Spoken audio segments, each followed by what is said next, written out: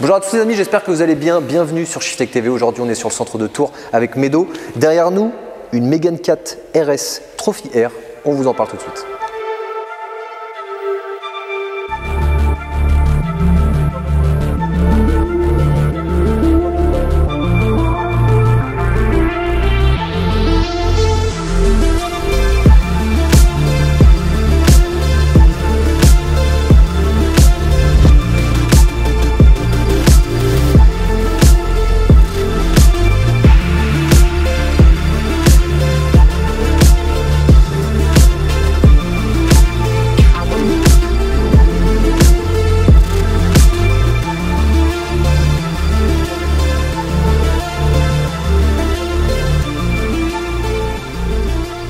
Donc Medo, on se retrouve avec cette Megane 4 RS Trophy Air ici dans nos ateliers. Alors déjà, pourquoi une pourquoi Trophy Air Pourquoi Trophy Air C'est une appellation euh, Renault qui est arrivée sur les Mégane 3 euh, pour aller à la chasse au record. Renault, euh, Renault c'est toute une histoire avec le Nürburgring et toutes ces séries de, de Mégane qui ont eu pas mal de concurrentes d'ailleurs et ils ont développé pas mal d'appellations dans les Mégane, donc euh, la plus grosse Trophy Air. Donc là, celle-là, c'était vraiment pour, aller pour chercher- Racing Mika. Air pour Racing.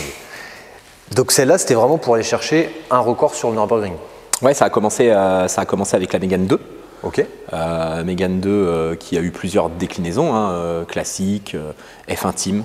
C'est vrai qu'à cette époque-là, ils faisaient vachement de déclinaisons sportives sur. euh, Mais sur ouais, effectivement, sur la Mégane 4, ils ont arrêté, mais euh, la Mégane 2 et la Mégane 3, la Mégane 3, je pourrais même pas te les citer. euh, euh, D'ailleurs, en commentaire, les pro Renault, N'hésitez pas à nous n'hésitez pas à toutes les citer, c'est nous on va faire des bêtises.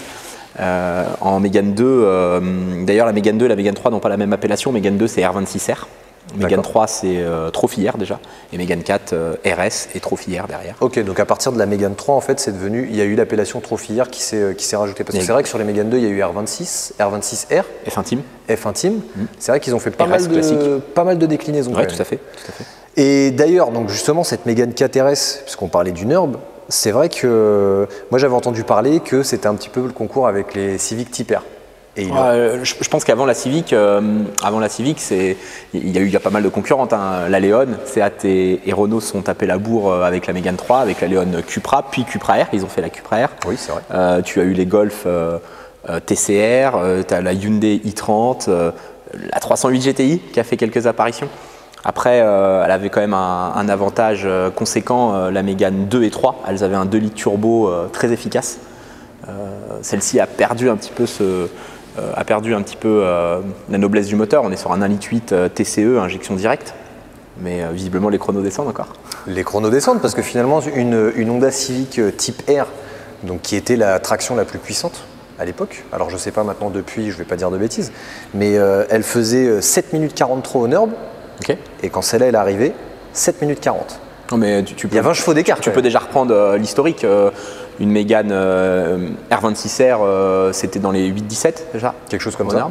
Euh, après, tu as eu euh, la Mégane 3 RS euh, Trophy Air qui est passée sous les 8 minutes. Et après, euh, euh, Laurent Urgeon a encore euh, tapé le chrono avec celle-ci. Et, euh, 7 et- minutes 40. 7,40 7,40. 7,40. Bon, elle est belle quand même. C'est un beau chrono. C'est un beau chrono. D'ailleurs, Attention que celle-ci n'est pas dans la config euh, du chrono, elle n'a pas le pack record. Je crois que c'est comme ça que ça s'appelle, pack record. Elle n'a pas les freins euh, carbone céramique, elle n'a pas les jantes.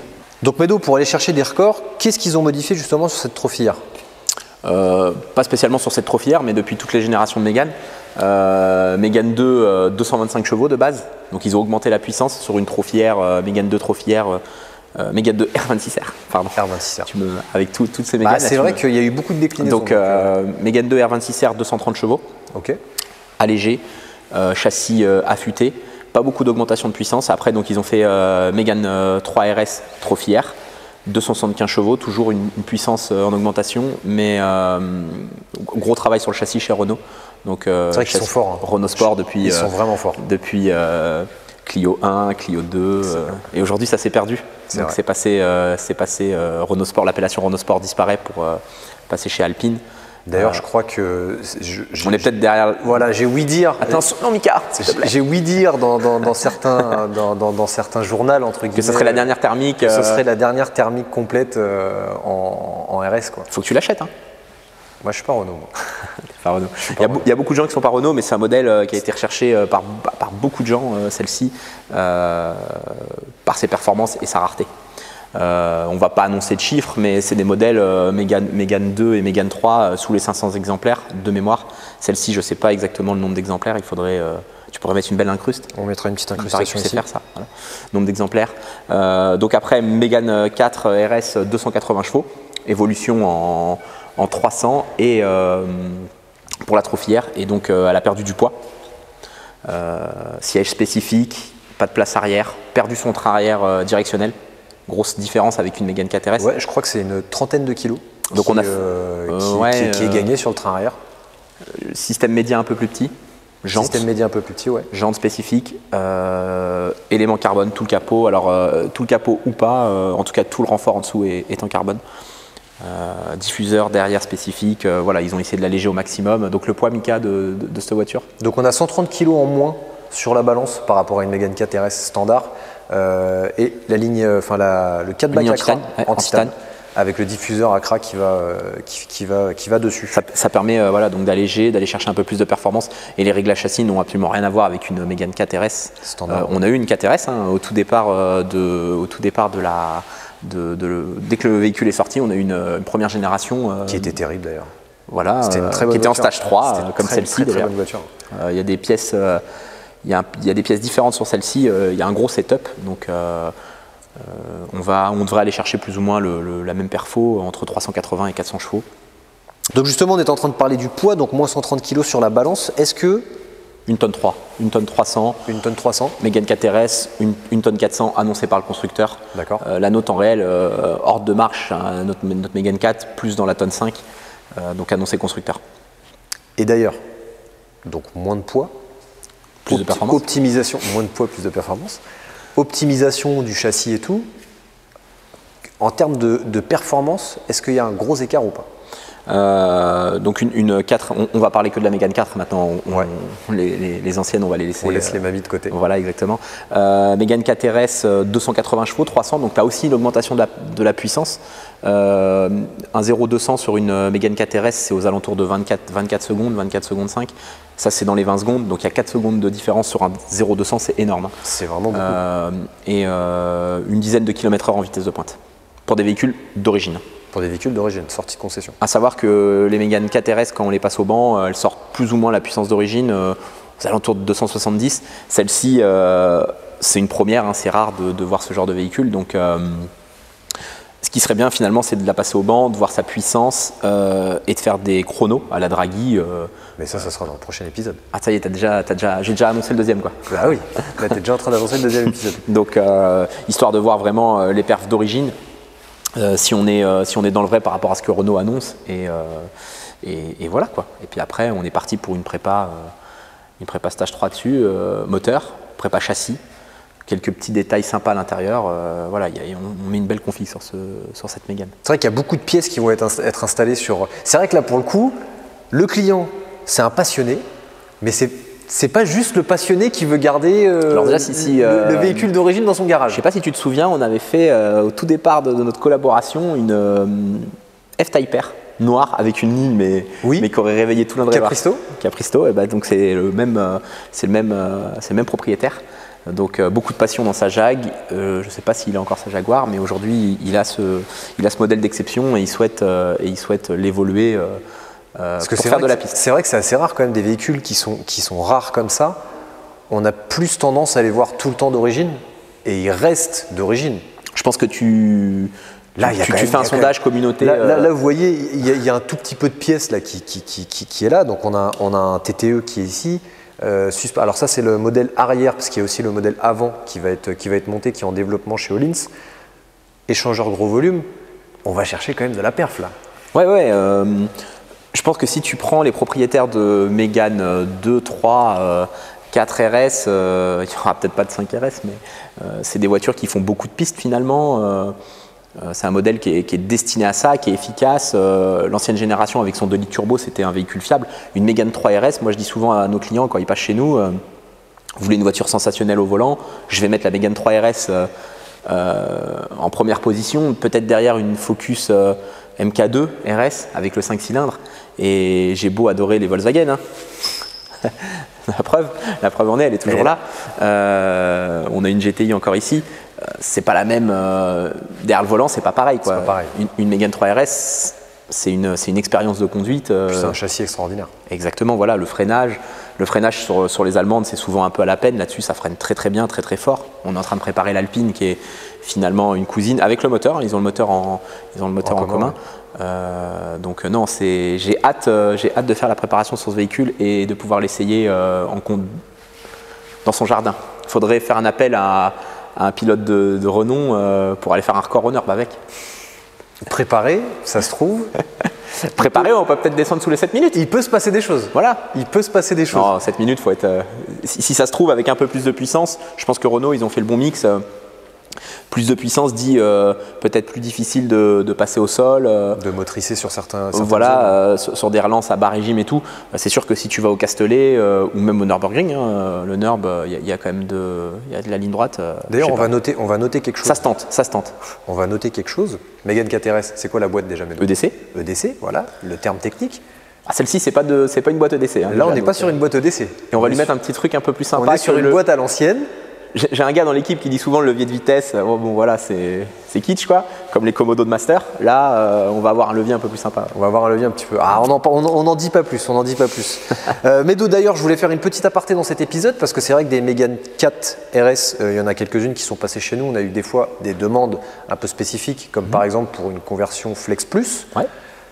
Pourquoi on ne peut pas faire de conversion Flex Plus sur ce type de véhicule On va reprendre toutes les générations euh, de Mégane, hein, je pense que c'est bien, euh, de le, rappeler.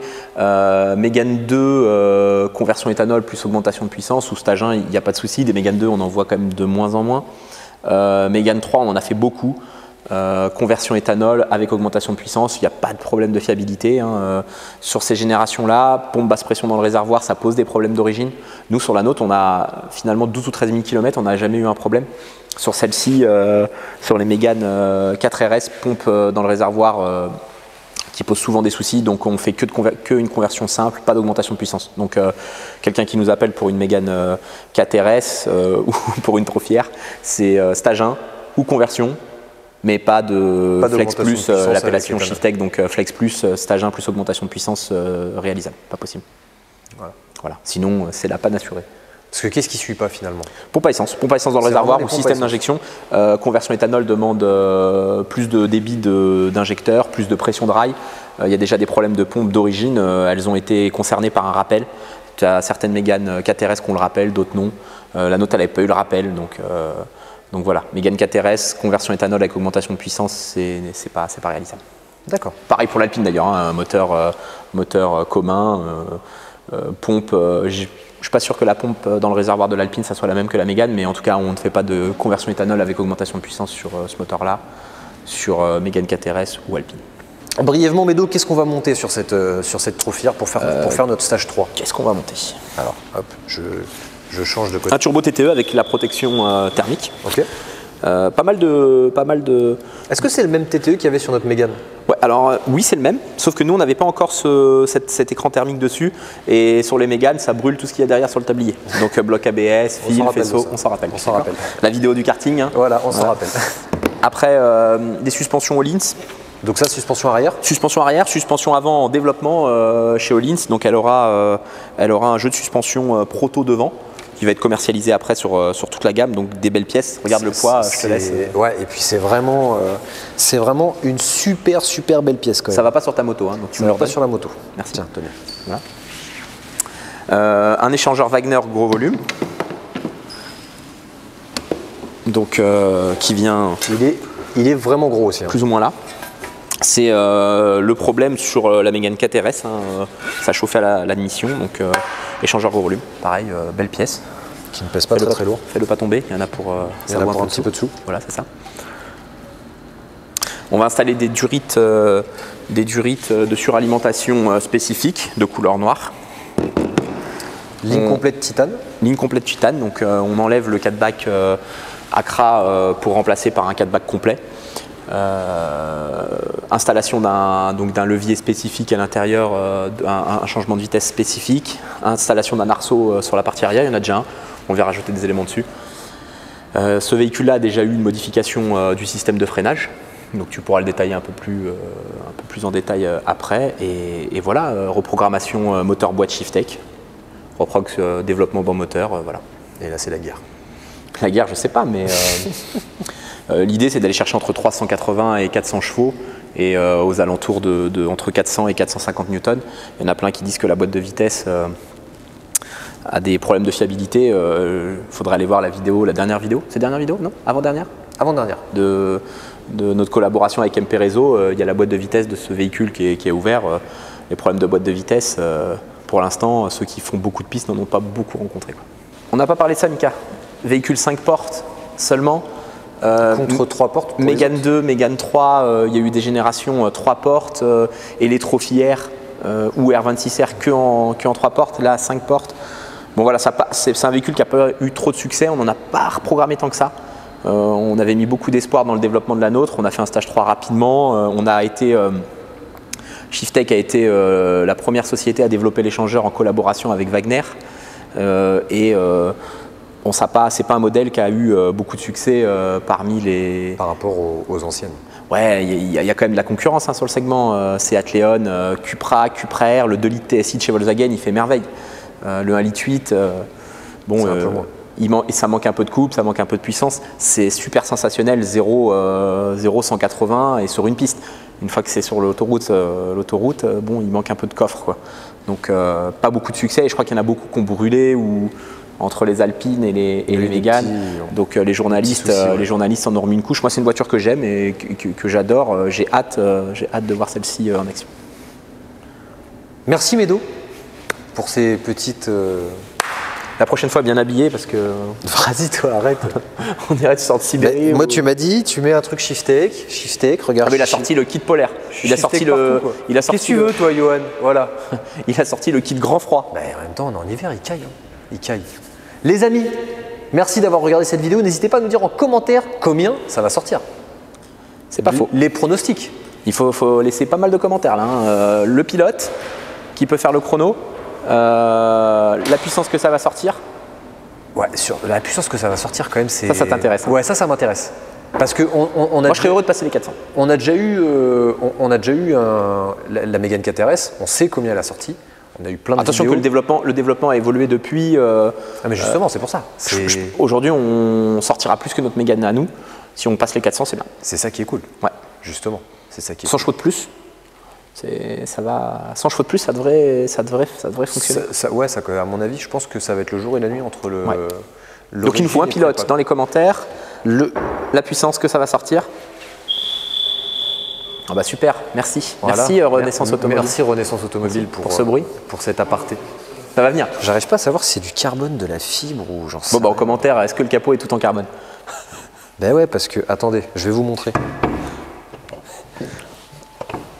Tu vas y arriver ou? Bah, c'est compliqué. Parce qu'en fait, vous voyez ici, on a toute une coque en carbone, mais quand on revient sur les côtés, ici, là.